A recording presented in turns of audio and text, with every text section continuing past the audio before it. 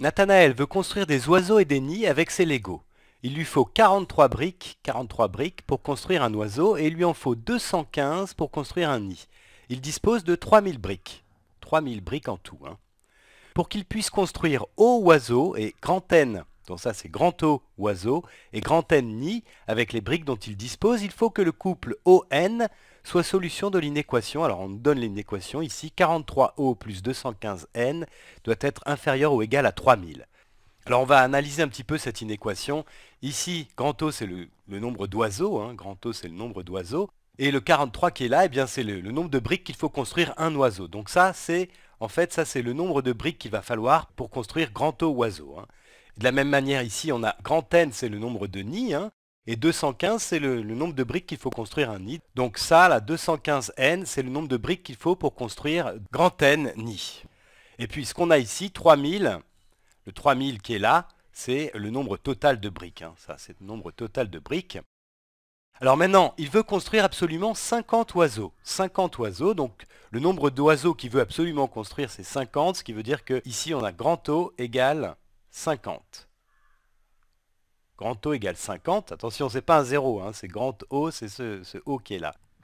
Combien de nids O plus peut-il construire? Combien de nids O plus peut-il construire? Alors en fait, on va prendre cette inéquation-là, mais en, en supposant, puisqu'il veut construire 50 oiseaux, on va supposer que grand O est égal à 50. hein. Alors, du coup, on va réécrire cette inéquation-là en remplaçant grand O par 50. Donc on a 43 fois 50. Ça, c'est le nombre de briques utilisées pour construire les 50 oiseaux qu'il veut absolument construire, plus, je vais le faire en bleu, 215n. Ça, c'est le nombre de briques qu'il faut pour construire les n nids. Voilà. Et ça, ça doit être inférieur à 3000. Inférieur ou égal à 3000, pardon. Voilà. Alors, 4 fois 50, ça fait 200, donc 40 fois 50, ça fait 2000.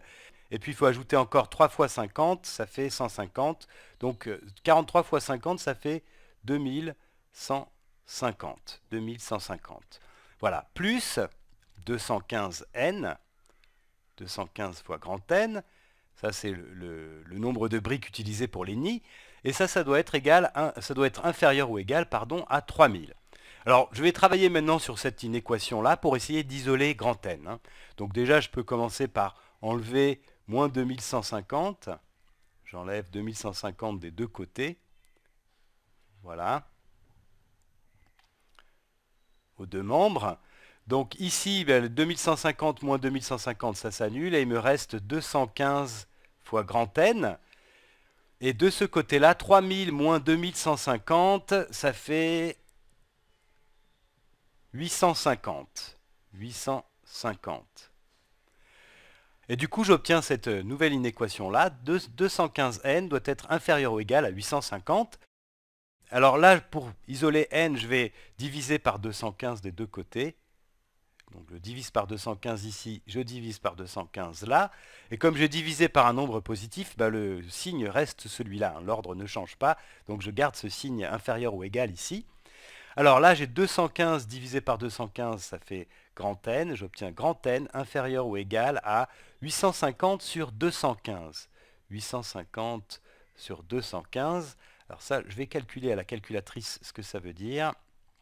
Alors, j'ai donc c'est 850 divisé par 215.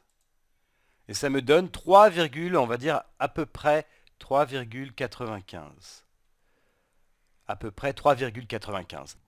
Alors ça, c'est pas un nombre entier, hein, 3,95, c'est pas un nombre entier. Et euh, nous, évidemment, euh, Nathanaël veut construire un, certain nombre de nids et ça doit être un nombre entier. Il va pas construire euh, euh, une fraction de nids, ça ne correspondrait pas à grand chose. Donc en fait, ce qu'il peut faire, c'est au maximum, au plus, construire 3 nids.